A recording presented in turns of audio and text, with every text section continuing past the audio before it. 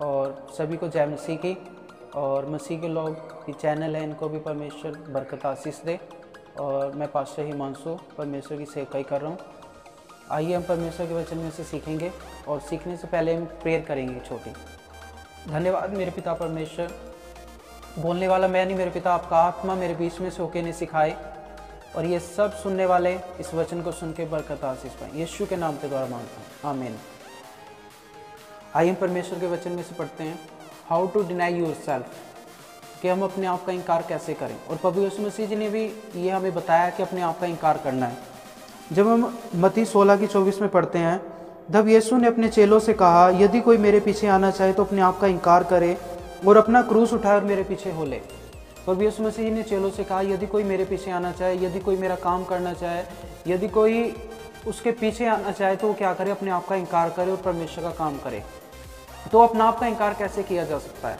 अपना आप का इनकार गलत बातों को, व्यभिचार को, बुरे कामों को छोड़ के किया जा सकता है। और अच्छे काम करके, जैसे गलातियों पाँच की बाईस में लिखा हुआ है, आत्मा का फल, पर आत्मा का फल प्रेम, आनंद, शांति, धीरज, कृपा, भलाई, विश्वास, नम्रता और संयम है। और जो कोई इनके विरोध में काम करेगा वो क्या है? वो सारे क्या हैं? वो अपना आप एक इनकार नहीं कर रहा है व्यक्ति। एक व्यक्ति जो प्यार नहीं कर रहा है, नफरत कर रहा है तो इनकार नहीं कर रहा है। मान लो आपको किसी ने कुछ कह दिया तो आपने जब तक उसका उत्तर नहीं दे दिया तो वो क्या है? एक अपने आप को अभी भी ज़िंदा हो आप। परमेश्वर में मरे नहीं हो। तो अपने आप का इनकार कैसे होगा? आपको बाइबल पढ़नी पड़ेगी। आपको परमेश्वर के साथ टाइमिंग बितानी पड़ेगी। आपको परमेश्वर के साथ समय बिताना पड़ेगा। आपको रोज़ाना तीन घंटे बाइबल पढ़नी पड़ेगी। कम से कम दो घंटे प्रार्थना करनी पड़ेगी। जो प्रार्थना है, वो हमें क्या करती है? वो हमें परमेश्वर के, जो हमने परमेश्वर से मांगना है, हमारी स्पिरिचुअल लाइफ को बढ़ाती है और हमें फास्टिंग करनी पड़ेगी। तभी हमारा आत्मिक लेवल बढ़ेगा। और जब हम फास्टिंग करते हैं, कई बार हम फास्टिंग करते हैं कि परमेश्वर मुझे ये मिल जाए, ये मिल जाए, ये मिल जाए। पर जब हम फास्टिंग करते हैं तो हमारी आत्मा ट्यून होती है और परमेश्वर की हम आवाज़ को सुन पाते हैं। और जब हम परमेश्वर की आवाज़ को सुन पाते हैं और सुन के जो हम करते हैं तब वो सारी चीज़ें जो हम अपने जीवन में चाह रहे हैं, वो सारी चीज़ें हमारी लाइफ में पूरी होती हैं। पर उन सभी से पहले हमें अपने आप का क्या करना पड़ेगा? इनकार करना पड़ेगा। और इनकार एक व्यक्ति कैसे कर सकता है? अपने आप को मार के। उसे परमेश्वर के वचन में चलना पड़ेगा, परमेश्वर की उपस्थिति में चलना पड़ेगा, बुरे काम छोड़ने पड़ेंगे, और परमेश्वर के राह पर चलना पड़ेगा। क्योंकि परमेश्वर मसीह जी ने कहा राह, सच्चाई और जीवन मैं हूँ। अगर आप परमेश्वर यीशु मसीह पर विश्वास करते हैं कि हाँ वही इकलौता पुत्र है वही हमारे लिए मारा गया और गाड़ा गया तीसरे दिन मुर्दों से जी उठा और मैं उसके ऊपर विश्वास करती हूँ और विश्वास करने के द्वारा जो जो प्रभु यीशु मसीह जी ने काम किए आप ऐसे काम करना चाहते हैं तो आपको प्रभु यीशु मसीह के करेक्टर में उसकी समानता में बढ़ना पड़ेगा। प्रभु यीशु मसीह का करेक्टर ये था अगर आपके एक परमेश्वर ने बोला कि तेरे गाल पे कोई एक थप्पड़ मार दे तो, तो उसके दूसरा थप्पड़ मत मारना, बल्कि अपना एक और उसके सामने कर देना कि ले भाई तू इधर भी मेरे मार ले।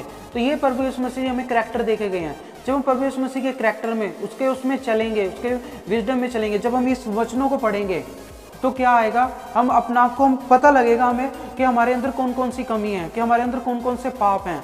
जब हमें उनके बारे में पता लगेगा अच्छा नफरत नहीं करनी हाँ अब मैंने नफरत नहीं करनी है। अच्छा परमेश्वर ने लड़ाई नहीं करनी। हाँ अब मैंने लड़ाई नहीं करनी है। बुरे काम नहीं करने। हाँ मैं, अब परमेश्वर ने व्यभिचार नहीं करना। ठीक है, अब मैं व्यभिचार भी नहीं करूँगा। अब चोरी नहीं करनी है। ठीक है, मैं अपनी आप जब जब परमेश्वर का वचन ऐसे पढ़ते चले जाएँगे, आपको एक एक पाप का, परमेश्वर का वचन बोध कराएगा, परमेश्वर का वचन आपको बताएगा। और जब आप एक एक पाप को ऐसे छोड़ते चले जाएँगे तो फिर क्या होगा? परमेश्वर का आत्मा आपको छुएगा, परमेश्वर का आत्मा आपसे बात करेगा।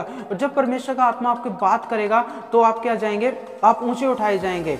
और जो आप परमेश्वर से मांग रहे हैं, वो वो आपकी बातें सारी क्या होंगी? पूरी होंगी।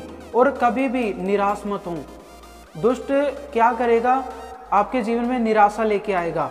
पर आपने निराश नहीं होना है। आपकी प्रार्थना नहीं पूरी हो रही है तो आपने प्रेयर करते जाना है, करते जाना है, करते जाना है तो आपकी सारी प्रार्थनाएँ वो पूरी भी होंगी। हाले अगर आप बीमार हैं तो परमेश्वर के वचन में लिखा हुआ है, यीशु के कोड़े खाने से मैं चंगा हो चुका हूँ। तो आपने उन वचनों को पढ़ना है, बोलना है अपनी लाइफ में, यीशु के कोड़े खाने से मैं चंगा हो चुका हूँ। चाहे आप चंगे भी नहीं भी हुए अभी, आपने बोलते जाना है, और एक दिन क्या होगा, आप चंगे हो जाएँगे पूरी तरीके से। हाले तो आज सबसे बड़ी बात, अपने आप का इनकार करें, अपने आप को मारें तो परमेश्वर में जिए तो आप ऊँचे उठाए जाएँगे और परमेश्वर, जैसे परमेश्वर ने मूसा से काम लिया, जैसे परमेश्वर ने एलिया से काम लिया, जैसे परमेश्वर ने चेलों से काम लिया, ऐसे परमेश्वर आपसे भी काम लेंगे। हाल आइए हम प्रेयर करेंगे। धन्यवाद मेरे पिता परमेश्वर, अनुग्रह करने वाले चलाली पिता, जितने जन मुझे देख रहे हैं परमेश्वर का आत्मा भी उन्हें छू जाए यीशु के नाम के द्वारा और सारी बीमारियों से वो नजात पा जाए यीशु के नाम के द्वारा। पिता परमेश्वर, आपका होली को फायर इनकी ज़िंदगी में आ जाए मेरे पिता परमेश्वर। ये वचन पढ़ना शुरू कर दे मेरे पिता, ये प्रार्थना करनी शुरू कर दे मेरे पिता परमेश्वर। आपका अनुग्रह, आपकी सामर्थ्य इनके जीवनों में आ जाए मेरे पिता परमेश्वर। पिता परमेश्वर, दया करे, अनुग्रह करे। यीशु के नाम के द्वारा मांगते हैं। आमीन। आमीन। आप सभी को गॉड ब्लेस यू परमेश्वर आपका